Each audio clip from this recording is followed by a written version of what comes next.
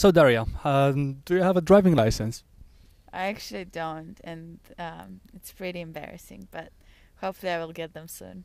Don't worry, I'm 36 and I also don't have a driving license. No, Uh, no. Uh, well, all the tennis fans know that you're pretty hyper. Have you been even tested for ADHD? no, I haven't. maybe maybe you should try. Maybe. I'm afraid of my results. Uh, do you think your temper helps you or disturbs you on the court? well, depends. If it's positive energy, then definitely. If I'm being negative, then no. Uh, have you ever wondered how many marathons you already run on the court? No, but probably a lot because I have long matches. Um, if you ever swear, do you do it in Russian or English? Unfortunately, in English, and then I get fined. So maybe it's a good idea to switch to Russian, huh? Exactly, maybe. But then my coaches won't know what I'm saying, so so it's not good. Uh, you said on your Instagram that your the food is your passion. Do you ever do you cook yourself or not? Yeah, I do enjoy cooking, and um, I always look up different recipes and try and then make it for dinner or something. Uh, now a few more um, serious questions. Um, what is the most difficult part about being a professional tennis player? Um, probably dealing with in- injuries and stuff like that. That's not fun, especially like today. I had to retire, so I'm a bit upset. And but um, some players struggle with travel. I don't like airplanes, but I actually do enjoy traveling and um, meeting new people and um, visiting different cities. But yeah, probably the injuries. Um, what do you like most about the tennis career? Uh, the winning feeling is pretty good, and um, apart from tennis, yeah, traveling.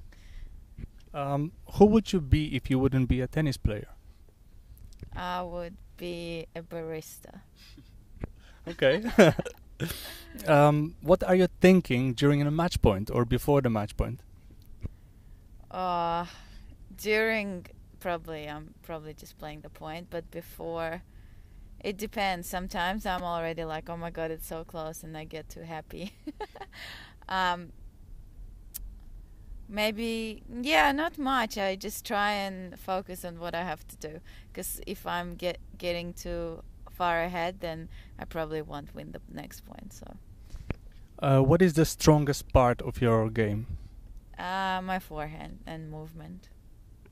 Uh, who is your favorite male tennis player and why? Uh, I like Roger Federer and David Goffin. I don't know how to say. I've tried to say the French or Belgian way. I guess Goffin. Um, how was the Charles Bridge at 6 a.m.? Uh yeah, it was empty. It was cool. I really enjoyed it.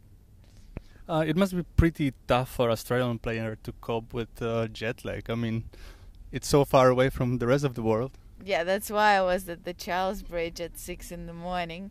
But um, yeah, I got used to it. So I'm actually waking up 30 minutes later than um, than every morning. So maybe by the time I'm back to Australia, I'll be sleeping a lot. Uh, what are the goals for the rest of the season? um, hopefully, keep up. Um, get my uh, Grand Slam results better because uh, my Grand Grand Slam results haven't been that great.